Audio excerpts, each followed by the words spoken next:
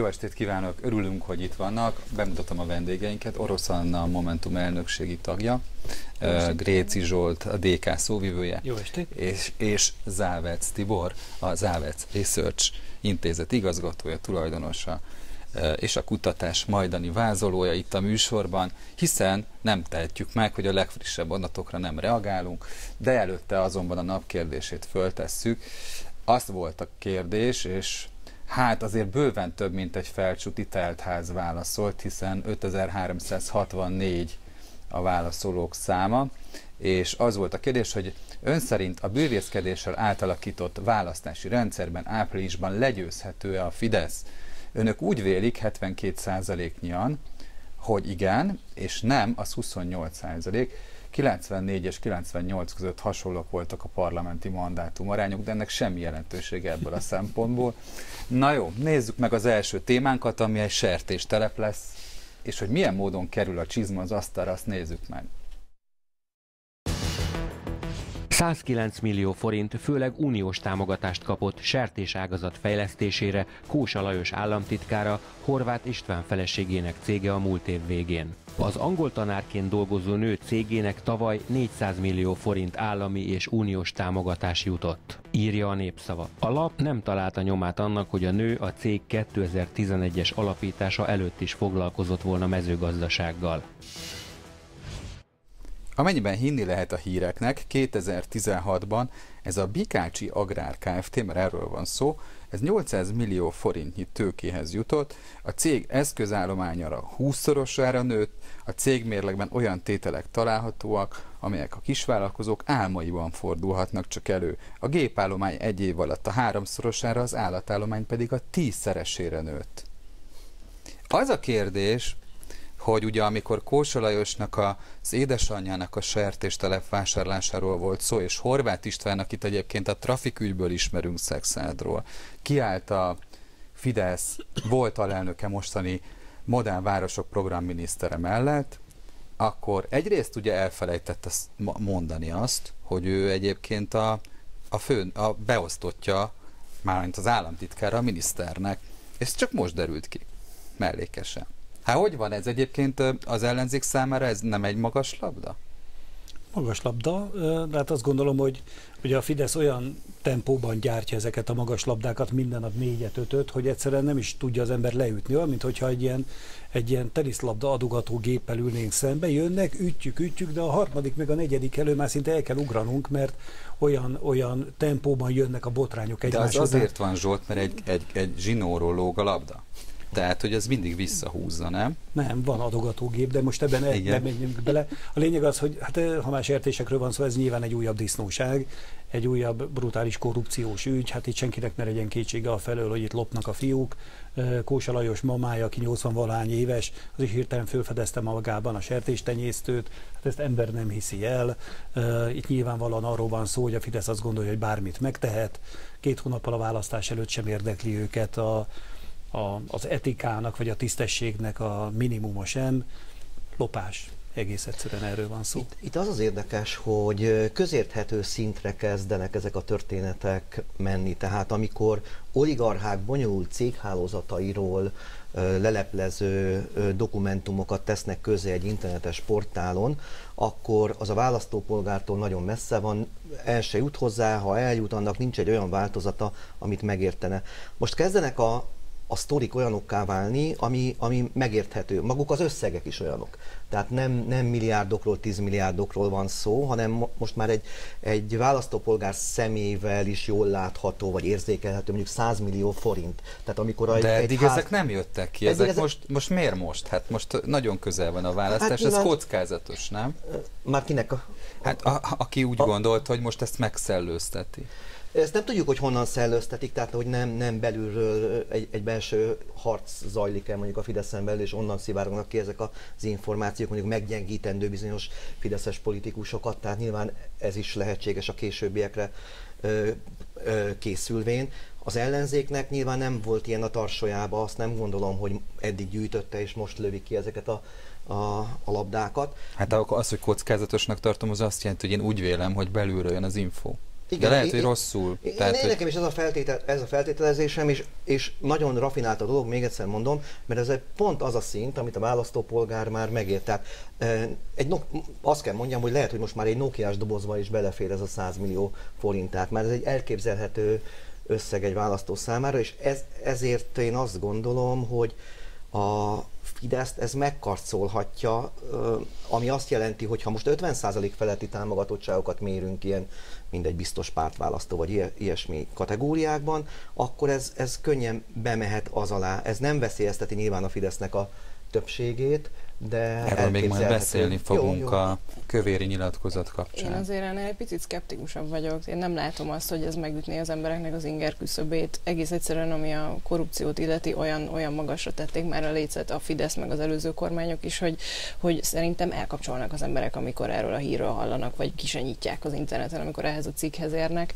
És uh, nyilván egy normális országban Kósa Lajos már nem lenne a politikában, hanem a civil állásában keresne magának munkát, ami, ha jól tudom, közgazdaság tudomány, tehát hogy így nem, nem, nem, nem lenne már miről beszélni ezek után. Az a probléma, hogy az emberek már el se tudják képzelni, hogy a, a politika az így szólhatna arról, hogy a, arról beszélgetünk, hogy hogyan lesz jobb az iskola, meg a közös ügyeinkről, meg a közös megoldásaink. És mi van akkor, és... hogyha a kettőt összekapcsolja mondjuk a Momentum? Mert hogy létezik olyan nyilatkozat, amely egyrészt rámutat arra, hogy milyen ügyek vannak, másrészt viszont belefűzi ugye azt a témát, amivel egyébként az emberek érdeklődését lehet felkelteni. Hát mi azt látjuk, hogy azért itt vannak kezdeményezések, amik sikeresek, nem tudom, múlt héten is, vagy most például az oktatáspolitikával kapcsolatban azért vannak tüntetések, vannak kerekasztal beszélgetések, itt van az oktatás minimum, ami arról szól megint csak, hogy az ellenzéki pártok megállapodtak arról, hogy mik azok a minimum kritériumok, amik mentén elindítanánk egy oktatási reformot, és hogy azért ennek van, e, van érdeklődés, csak hogy, csak hogy ez, amiről beszélnünk, kéne, és valahogy el kéne hitetni az állampolgárok, hogy igenis is szólhatna erről a politika, és erről kellene szólnia, mert az állampolgárokat alapvetően azért az érinti, hogy egyrészt ellopták azt a sok millió forintot az orra elől, másrészt meg arról, hogy bemegy a gyerek az iskolába, és, és, és, és olyan körülmények vannak ott, és olyan leterheltség van, és ehhez képest nincsenek eredmények, ami egyszerűen elfogadhatatlan. Ugye, hogyha nézzük a Simon ügyet, akkor ott volt egy 250 milliós tétel, és ugye azt lehet tudni, hogy ott a legfőbb ügyészség, amely ugye, ugye dolgozott a vádiraton, hát nagyon nehezen jutott előre. Itt viszont azt lehet tudni konkrétan a trafikügyben, hogy megszűnt az eljárás. Na most azt simán el lehetne képzelni, hogy egy ilyen helyzetben egy miniszterért oda mennek a hivatalba, és, és kattan a bilincs. Nem? Tehát ez van olyan sztori, ami, ami például a Simon ügy egyébként. Hát elvileg, elvileg kellene, hogy legyen, de hozzáteszem, a Simon ügyben sincsen semmi tehát semmilyen eljárásról nem tudunk, vagy tárgyalásról, vagy bármi, pedig hát lassan egy fél évtized eltelt a, a, a két, a, a mostani események és az akkori események között. Hát hosszabbítások vannak. Na jó, de hát a futballban is egyszer csak vége van a hosszabbításnak. Hamar munka ritkán jó Zsolt. Ez igaz, ez igaz. Egyébként annyiban csatlakoznék Tiborhoz, hogy ilyen volt már, csak nem volt ekkora áradata a a korrupciós ügyeknek, amikor Orbán az első kormányzása vége felé egyszer elment Amerikába egy ilyen Q-kategóriás amerikai diplomáért, és 30 millió forintért béreltek neki egy repülőgépet, és akkor az ott súlyos veszteségeket okozott a Fidesznek. Tehát ugye, és ebben meg ugye neked adok igazat, hogy most már olyan sokan, és olyan sok mindent loptak el, és olyan magasan szárnyal a korrupció, hogy időnként azt érzi az ember, hogy Ezeket a Fidesz azért találja ki, hogy valóban addig se, derül, addig se arról beszélgessünk, hogy most megint meghalt egy beteg a sürgőségi osztályon, hogy nincs, hogy olvasom, hogy a mentőkben már nincsen ceruza elem, arra, hogy a vérnyomást mérjék a betegnek. Tehát egészen dermesztő állapotok vannak az országban. Egy kis kósalajosozás, és akkor az emberek addig se tudják, hogy mi van az egészségügyben. De a kórházakban. Az ilyen sztorik képileg is megjeleníthetők. Tehát emlékszünk a, a a Nokiás doboznak az volt a, az ereje, hogy egy, egy jól látható, tehát az emberek számára kézzel fogható valamiről szólt, és itt is kicsit olyan, kiderült, hogy nem volt. Kicsit, kicsit kiderült, hogy nem Igen. volt. Itt meg ugye bájos a történet, hogy sertésekről van szó, és most már én másodszor vagyok itt, amikor a sertésekről beszélünk, hogy ez egy kúrens, témá, kúrens témává vált, de pont, pont ez, a, ez, a, ez a lényeg szerintem, hogy, a, hogy az emberek de most ezt for... a sertés sztorikat megértik, mert hogy Tibor, húsfogyasztók, húsvásárlók, és itt tovább beszéltünk a szerkesztővel, hogy, hogy tud-e valaki követ szórni a nyertesekre, hiszen a disznóknak meg kell értsék az angol indulatszavakat, mert esetleg esetleg, tehát nem arra mennek, amerre kell. Nem? Tehát a go, go, és akkor a, elmegy egy másik irányba. Igen. Nem? Igen. Nem, tehát hogy tényleg ez egy jó geg, meg sziporkának főleg, de én azt gondolom, hogy az ellenzéki pártok ebből tudnának profitot csinálni a maguk számára, mert ez egy olyan történet, amit most lehetne innentől kezdve valahogy arra a szintre levinni, amit mindenki megért. Horváth államtitkár egyébként a Sertéstenyésztők Országos Szövetségének az elnöke, mellesleg ugye ő volt a sertéságazat fejlesztésért felelős miniszteri biztos, és egyébként ruházati kereskedelemből élt korábban, bár agrárvégzettsége van. Innentől kezdve természetesen az, hogy felfut egy cég, amely a család birtokában van, ez érthető, hiszen egyrészt meg kell jelenni valahogy, másrészt meg azért érteni kell a mezőgazdasághoz.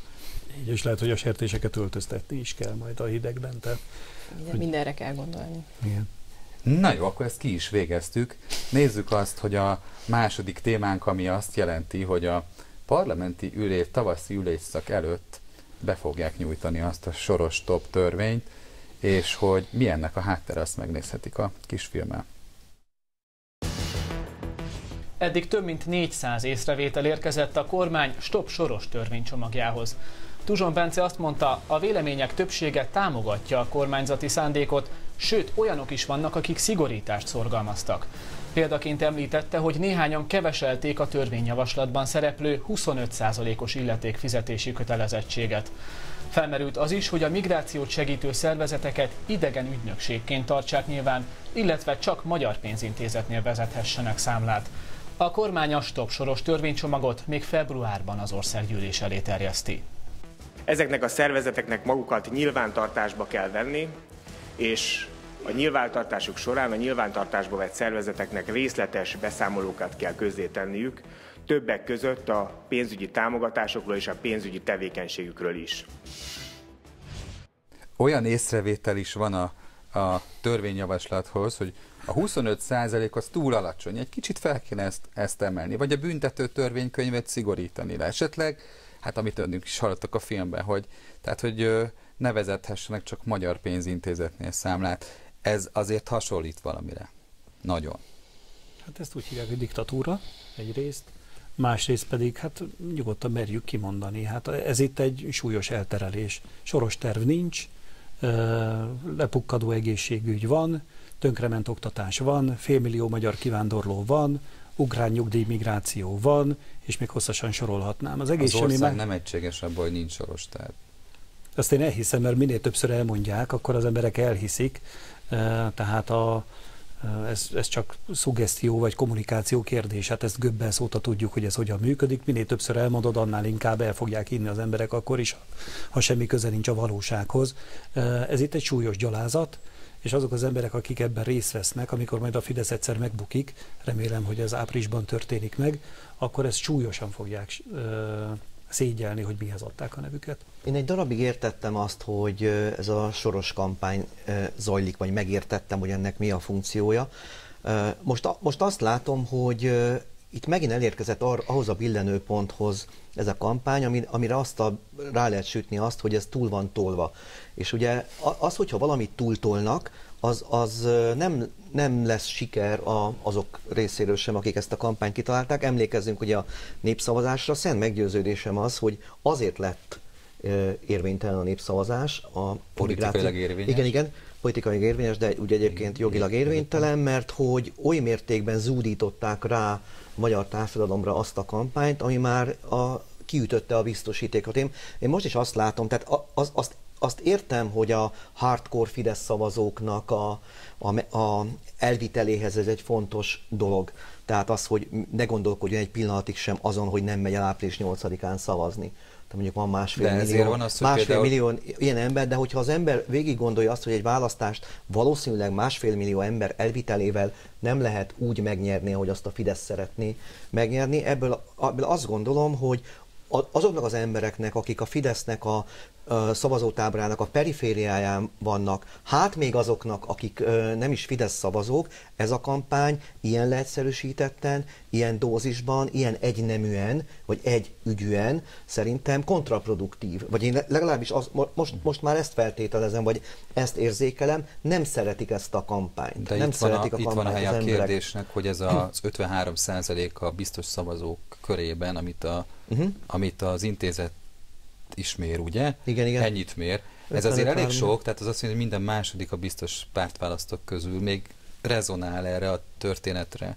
Erre a történetre, de a, abban a pillanatban, hogyha megnő a részvételi hajlandóság, és azok az emberek, akik nem Fidesz szavazók kerülnek bele kormányváltók ugye a résztvevők közé, akkor a biztos pártválasztók körében mért adatok mondjuk a Fidesz esetében csökkenhetnek. Tehát én most nem, egy, nem azt mesélem el, hogy majd hogy esik le a Fidesz 30%-ra, mert ennek a realitása nulla, hanem azt gondolom, hogy, hogy azzal játszik a, a Fidesz, hogy szavazatokat veszít. Tehát nem, szerintem ez nincs pontosan e, kiszámítva. A patika mérleg most nem működött. A részvételi hajlandóság tekintetében, amit most mértek, az, az 6-7 százalék ponttal magasabb, mint az ugyanilyen ö, időszakban mért négy évvel ezelőtt. Nálam adat. nem.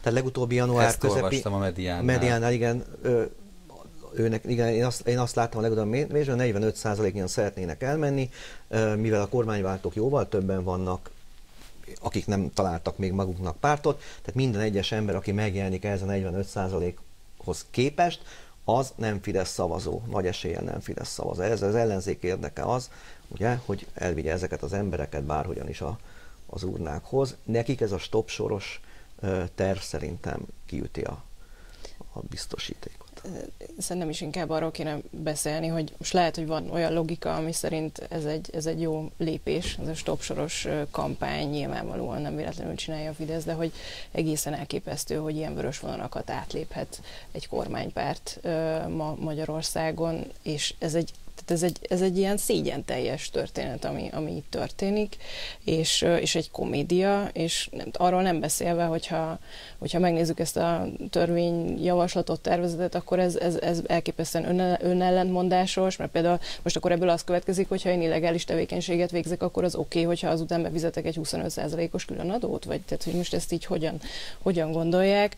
A másik meg az, hogy én nem tudom, hogyha kiszámolnánk, hogy ki, ki, ki adott ennek az országnak nagyon sokat, akkor lehet, hogy Széchenyi után kamatos kamatokkal Soros Györgyön közvetlenül a sorban, akinek azt hiszem, hogy a, a legsúlyosabb dolog, amit felrónék neki, az az, hogy olyan embereknek adott ösztöndíjat a 90-es évek elején, mint Orbán Viktor, és láthatóan nem jól választották ki azokat az embereket, akiket támogattak annó. Az, Mert az hogy ez lett, ez lett belőle. Ez miért van, hogy egyetlen momentumos politikus nincsen Soros György balján vagy jobbján? Ö, hát ezt a Fidesztől, igen, a plakáton értem a kérdést. Én ennek azért személy szerint örülök, bár persze értem, hogy arról vonatkozik a kérdés, hogy akkor nem tartanak minket. Elég, elég Karácsony Gergely tulajdonképpen szocialista. Lehet, hogy valami pszichológusan megmérették, hogy pont ennyi embert kell rárakni, pont ilyen sorrendben és pont ilyen felosztásban, ahhoz, hogy sikeres legyen. Igen. De hogy egyébként a Fidesz szavazók ezt elhiszik ezt a, ezt a sorfalat? Vagy hogy ez, ez nekik ez ez Mi egyébként ugye kim vagyunk az utcán, és aláírásokat gyűjtünk azért, hogy a civil szervezetekről szóló törvényt visszavonják, és én nagyon sok emberrel találkozom, aki egyébként elhiszi, és aztán visszakérdezek, hogy na de mégis hogyan gondolja pontosan, hogy Soros György tönkreteszi egész Európát, meg Magyarországot, és így kezdenek az emberek gondolkodni, és így látszik a szemükben, hogy fú, tulajdonképpen így igen, ez így annyira nem oké. Hmm. És így, tehát, hogy, hogy nagyon sokan így meggyőződéssel hiszik ezt, de azért, hogyha az ember beszélgetésbe elegyedik velük, akkor, akkor el lehet őket bizonyítani. Ez jó érzés, hogy a válasz választókkal lehet Ugye úgy nagy, beszélgetni, meggyőzni. Egyébként ezt is visszatom igazolni.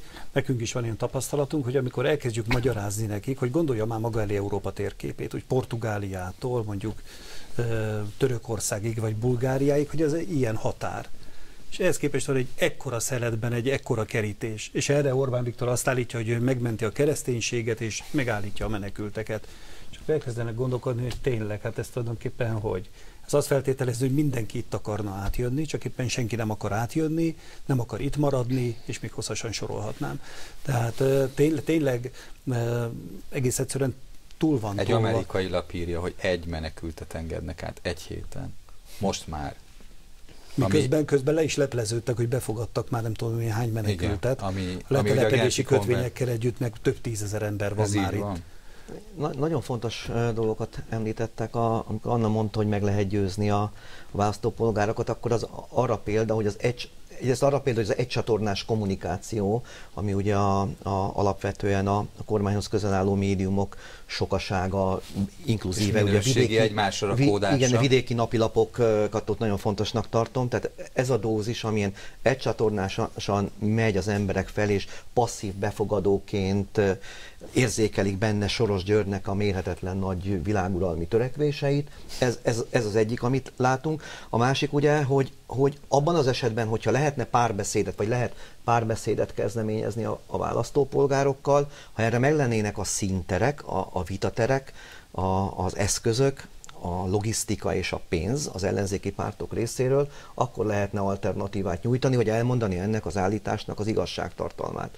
De hát erre összesen két hónap van, és nem tudom, azok, a, amiket elmondtam, pénz, logisztika és egyebek, azok rendelkezésre áll, állnak ezek a pártok. Mert nagyon szép dolog tényleg az, az hogyha egy, egy ilyen aláírásgyűjtésnél né, már néhány embert egy ellenzéki párt legalább el tud gondolkodtatni, de ezt, ezt azért egy kis településen a falvakba megvalósítani sok, sokkal hát nehézkesebb. És fél éve járja Mi az azért azt látjuk, hogy, hogy, hogy nagyon kevés, ellen, bocsánat, nagyon kevés ellenzéki párt van jelen úgy igazán az országban mindenhol. Nagyon kevés ellenzéki párt eresztett gyökeret a legtöbb helyen az országban, és így ez a jobbik, bocsánat, de hogy ők talán az egyik legsikeresebbek ebben, meg, meg annó a Fidesz, és hogy ez, ezt nem is fél, ez nem egy befejezett folyamat a Momentum részéről, nyilvánvalóan ez egy több éves, illetve ez egy folyamatos munka, hogy mindenhol ott legyünk, és mindenhol legyenek helyi szervezeteink, és mindenhol találkozzanak azok az emberek, akik sajnos most tényleg csak a kormány médiából tudnak tájékozódni, találkozzanak normális emberekkel, akik felteszik nekik azt a kérdést, hogy bocsánat, de most tényleg Soros György, nem az, hogy az iskolában a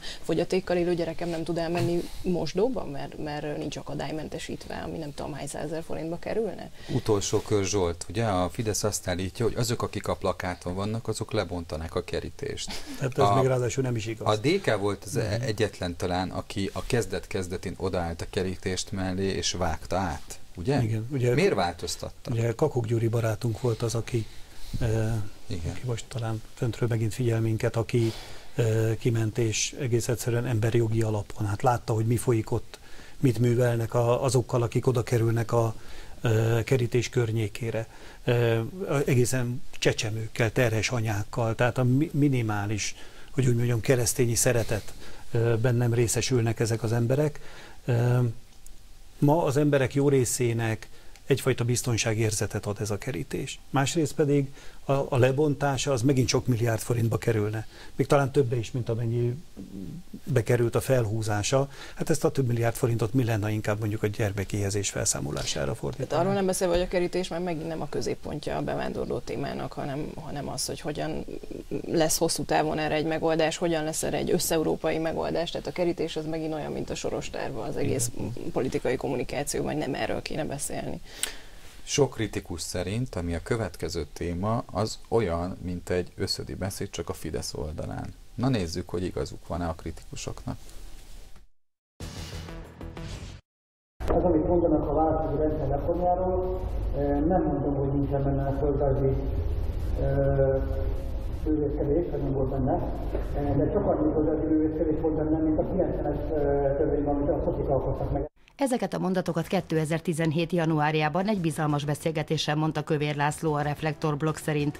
A most nyilvánosságra hozott felvételekkel kapcsolatban, amelyen a blog szerint Kövér Lászlót egyértelműen be lehet azonosítani, a Fidesz kommunikációs vezetője azt mondta, szerintem nincs semmi probléma. Hogyha végigolvassuk a szöveget, akkor az égvilágon semmi vállalhatatlan kijelentés nincs. Szerepel benne az, hogy a, demokratik, hogy a választási rendszer demokratikus, ugyanolyan demokratikus, amilyen a 90-ben meghozott választási rendszer rendszer volt, amely egyenlő esélyeket biztosít mindenkinek.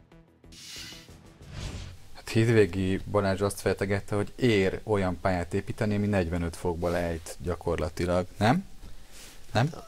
Ez a 90-es, én, én akkor már kezdő közvéleménykutató voltam, és azért emlékszem az akkori történésekre, azért a Nemzeti Kerekasztalon elég nagy viták után alakult ki egy olyan, a sarkalatos törvények közte ugye a választójogi törvény, ami, ami megpróbálta valahogy azt, az, azt biztosítani, hogy ne legyen túl hatalmas senkinek, hogy egy demokrácia, egy kezdődő demokrácia jól működjön, és azt összevetni azzal, ami, ami itt történt ugye a, a legutóbbi ilyen törvénymódosításnál, hát azért erős túlzásnak nevezném. Tehát az, az, az egy kompenzációra épülő, nagyon korrekt, többpárti, Antal József, Orbán Viktor, Igen, teljes konszenzussal teljes konszenzussal elfogadott törvény volt, volt, ami működött valameddig, aztán persze sokat toldozgattak, fordozgattak róla, eltűntek ugye a... Hát úgy sikerült a szociknak ezt megalkotni, hogy az MDF teljesen nyert, az SDS a lett a második. Hát, hát ha a szocik alkották volna, de, de a nemzeti kerekasztal... László hazudik ebben a Na jó, de én idézőjelben ja, mondom, ja, tehát hogy, ja, ja. hogy úgy sikerült okay, helyzetbe igen. hozni az ellenzéket, hogy gyakorlatilag egy hát ilyen... Posgai, 33, hogy ne, hogy ne, igen. Tölgyesi, 33 fős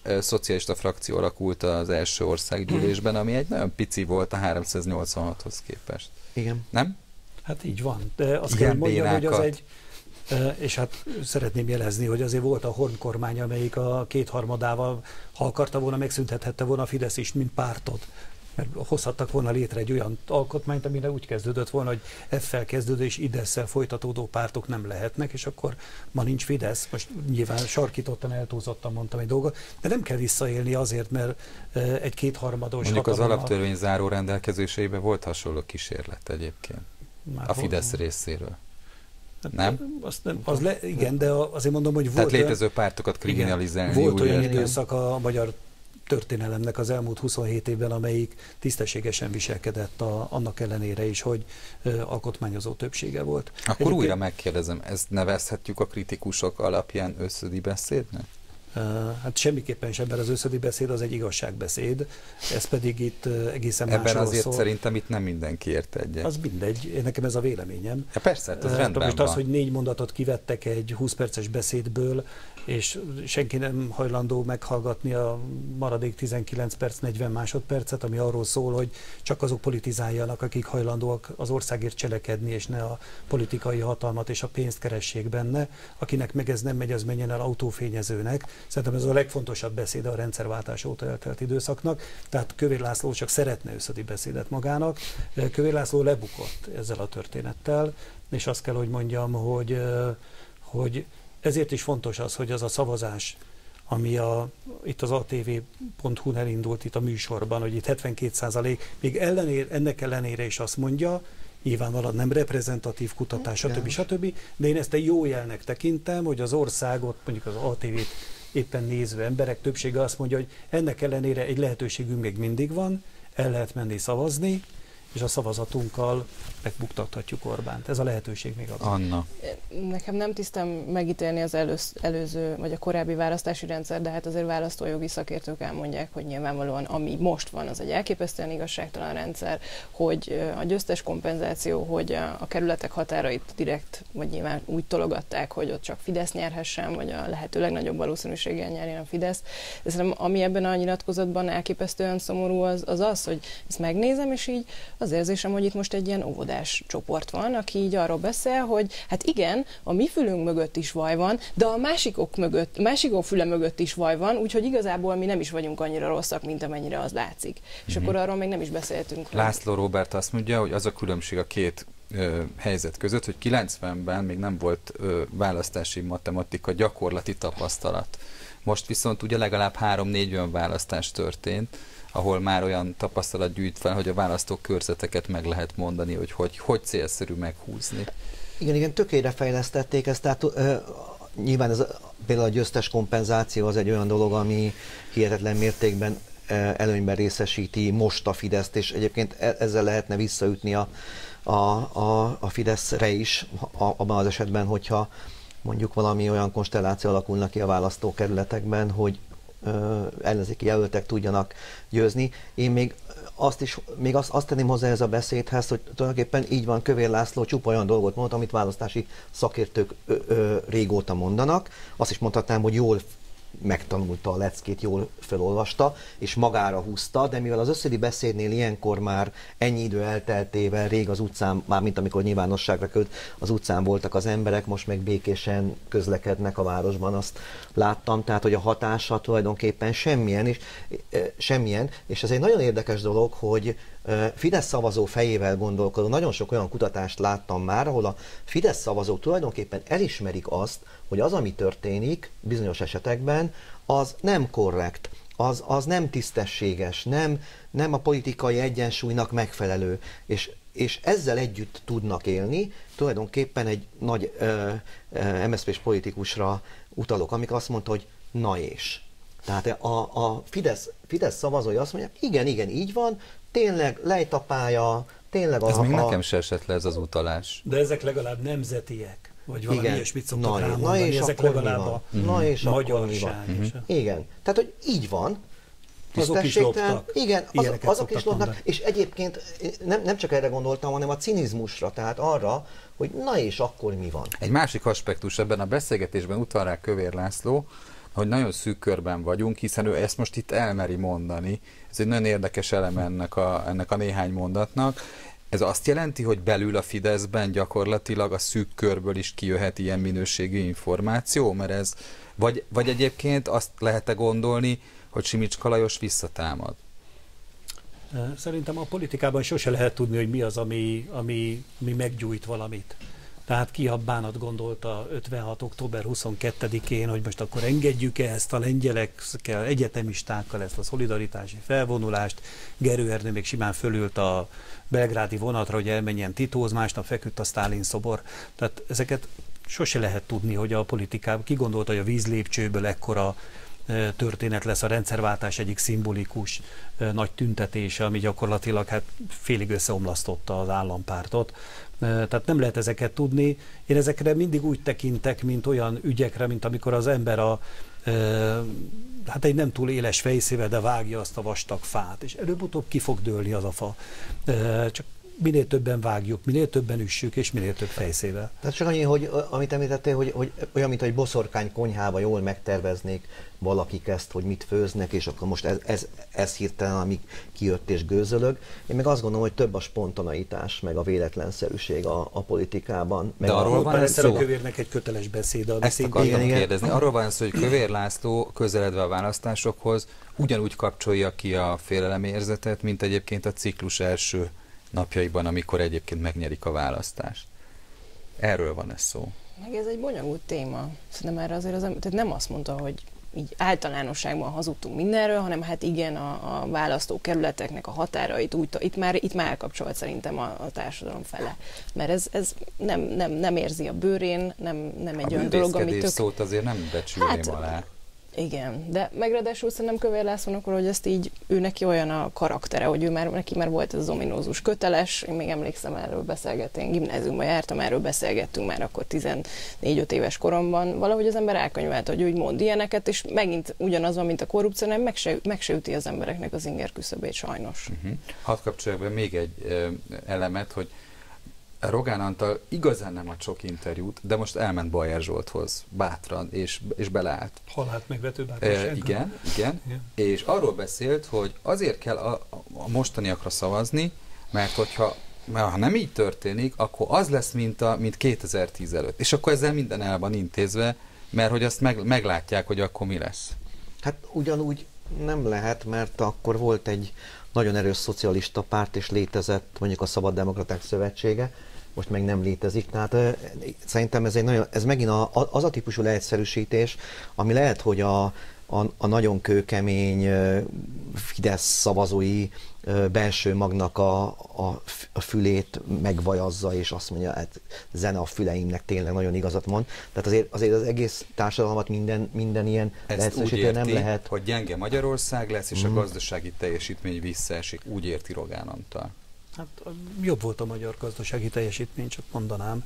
Tehát az európai összehasonlításban például a gazdasági növekedés jobb volt, mint jelenleg. Erősebb volt a forint, aztán mondjuk a benzinásokkal kevesebb volt, tehát azért még hosszasan sorolhatnám, hogy nem vontak ki mondjuk évente 100 milliárdot a magyar oktatásból, hát az egészségügyből. az 400 felett volt 2006 körül. Igen, de nem volt 470.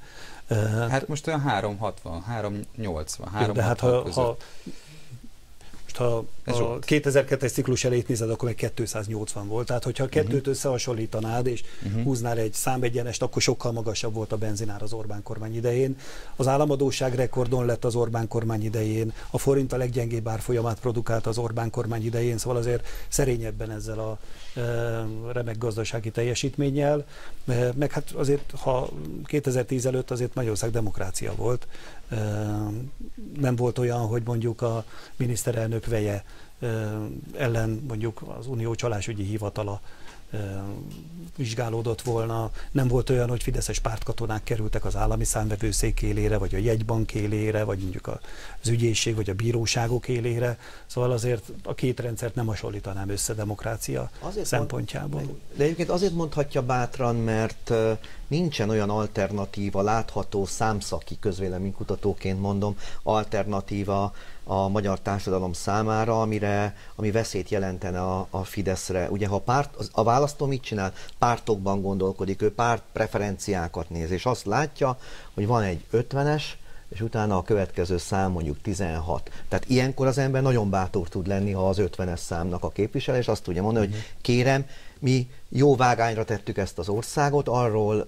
levenni nem szabad, a váltót átállítani nem lehet, mert hogy ezek csak olyanok vannak, akik még masinisztának se jók, hiszen nézzétek meg, De hogy a milyen kicsi... el fogja dönteni, hogy kire szavaz nagyjából. Előbb-utóbb eldönti, persze. És azért ez egy kockázat, nem? Ilyen hát ez szem... egy kockázat, e- ehhez mondjuk az a feltétel kellene teljesüljön, hogy ezek az emberek elmenjenek voksolni, fölismerjék, hogy van alternatíva, fölismerjék azt, hogy az egyén elmondják nekik mondjuk az ellenzéki pártok, hogy az egyéni választókerületekben meg lehet szerezni 106 mandátumot, ám de listán ennyit nem lehet, tehát a választókerület az fontosabb, tehát arra kellene fókuszálnia tulajdonképpen a pártoknak, ezt kéne elmondani, de hát ez nem egy egyszerű dolog. Jó, hát is, ismét visszaidézem, hogy 72%-ban a válaszadók azt mondták, hogy ilyen feltételek mellett is meg lehet verni a Fideszt az ő választási rendszerében.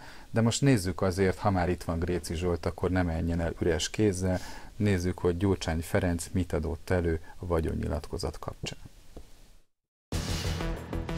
Saját maga ellen kezdeményez vagyonnyilatkozati vizsgálatot Gyurcsány Ferenc. A DK elnöke Facebook oldalán jelentette be, hogy hétfőn megkéri a Fideszes vezetésű és többségű mentelmi bizottságot, hogy vizsgálja meg a vagyonnyilatkozatát. Gyurcsány azután szánta magát erre a lépésre, hogy a Magyar Idők főszerkesztője Gajdics Ottó bejelentette, eljárást kezdeményez ellene, mert szerinte a DK elnöke nem tüntetett fel a vagyonnyilatkozatában közel 150 millió forintot, amely egy nevén lévő osztrák bankszámlán van. Gyurcsány szerint ez nem igaz, mert az összeg benne van abban a 605 millió forintos értékpapír befektetésben, amelyet beleírt nyilatkozatába hogy most már ott tartunk, hogy már a régi Vasas stadion az életveszélyes részek lezárásával 6500-on szavaztak, ez csak zárójel bezárva. De visszatérve a, ugye a témához, hát ugye egy magyar idők cikkel kezdődött minden, meg Gajdi Csottónak az eljárást kezdeményező bejelentésével a bizottságnál, ugye? Most. A, a kezdeményezés, mint nyilvánosságot, mikor először kapott, az Gyurcsány Ferencé volt, csak szeretném jelezni. Tehát ő szombat reggel ezt bejelentette, majd utána megjelent a Magyar Idők nevű hetsportálon a, az, hogy kezdeményeznek egy ugyanilyet. Tehát szeretném az időrendiséget. Ő látta kefele vonatot? Hát, a magyar idők kefele Nem, nem hinném, hogy látta volna. De honnan de... tudta, hogy ez téma lesz a magyar időkben? Miért gondoljuk, hogy tudta hát volna? először ő áll elő a sztorival. Nem, hát azért, mert hogy mert hogy nincs mit takargatni ebben az ügyben. Meg hát az mhm. egész tulajdonképpen rendkívül furcsa. Mindig mert tudtuk, hogy, hogy Gyurcsány Ferenc politikai érzék, ez legendás. Igen, tehát a, a, elindította ezt a kezdeményezést, mert mindenki tudja, az összes képviselő, hogy Gyurcsány Ferenc vagyonnyilatkozat tök, tökéletesen szabályos. Sőt, azon túl is megy. A felesége és az összes gyermeke vagyonnyilatkozatát is közé teszi, ami egyébként nem kötelező és most már azt is megtette, hogy minden létező banknál a számlaszámának megfelelő, a számlájának megfelelő összeget is nyilvánosságra tette, nyilvánosságra hozta, úgyhogy azt gondolom, hogy Gyurcsány Ferenc ismét bebizonyította, hogy ő az az ember, aki nem alkuszik Orbánnal. Itt még csak a gyanú árnyéka sem vetülhet más pártok politikusoknál. Most erre nem nyitnék ki ablakot, de Gyurcsány Ferenc az a személy, és a DK az a párt, amelyiknek köze nincsen a Fidesz. Sok újságíró még a PIN kódját hiányolja egyébként. Igen, hát azt lehet hiányolni természetesen. Igen. Tehát olyan furcsa az egész. Tehát a, ez az egész ügy az arra jó, hogy tényleg a két politikai kultúra közti különbség kiderüljön. Egy ember, aki elszámol a vagyonnyilatkozatával, miniszterelnökként nem veszi fel a fizetését, hanem jótékony célra ajánlja, a másik meg azt állítja, hogy van 750 ezer forint megtakarított pénz, amit még a Fidesz szavazó sem hisz el, miközben mondom a papának székházból bánya, nyomoznak a vej után, az asszony tele van szántókkal, réttel és legelővel, a legjobb haver pedig két perc alatt az ország leggazdagabb embere lett, miközben ránézésre szerintem egy, nem tudom, egy tyúkot nem tud megetetni.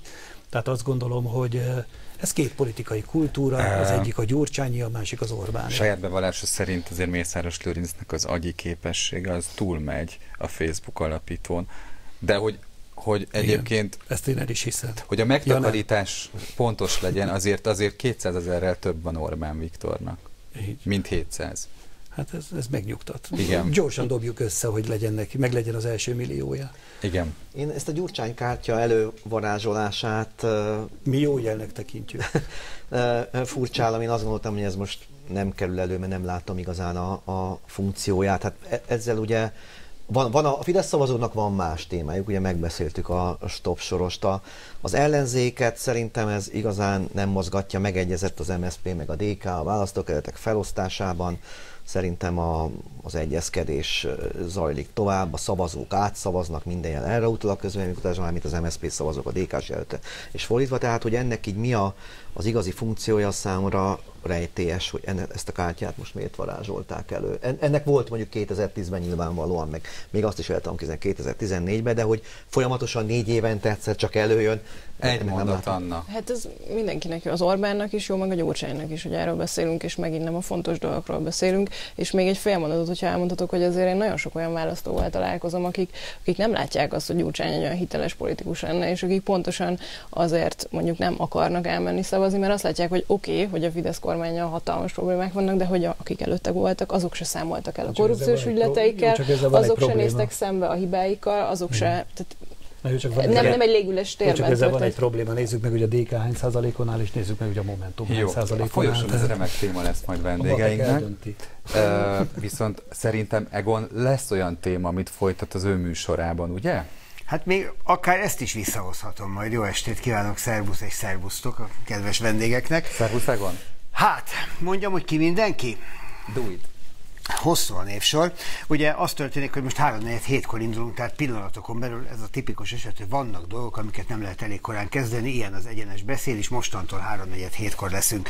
Újhelyi István az MSZP-ből, Mellár Tamás egy baloldali közös jelöltként Pécsről, aztán Juhász Péter az együtt elnöke és Vadai Ágnes a DK alelnöke, Cseh Katalin a Momentum elnökségi tagja, nem utolsó sorban orvosként, Ungár Péter az LNP elnökségi tagja, Törlei Katalina Tanik-Tanik mozgalom képviseletében meg megállapodtak az ellenzéki pártokkal. Bolgár György, műsorvezető kolléga, és László Robert választási szakértő. Utóbbira gondolattal, hogyha a választási rendszerről beszélünk, Gyurcsány pénzéről, illetve vagyonnyilatkozatáról beszéletek Vadai Ágnessel, és megkérdezhetem a Momentum elnökségi tagját, hogy miért áll egy százalékon a Momentum, amelytől sokan, sokkal többet vártak. És hát sok-sok kérdés, úgyhogy remélem, hogy sok néző, és mindjárt kezdünk. Anna is szeretett volna erről beszélni, de mi nem engedtük. Úgyhogy köszönöm, hogy figyeltek ránk, egész héten itt leszünk, válasszanak minket, hogyha megtehetik, számítunk Önökre viszlát.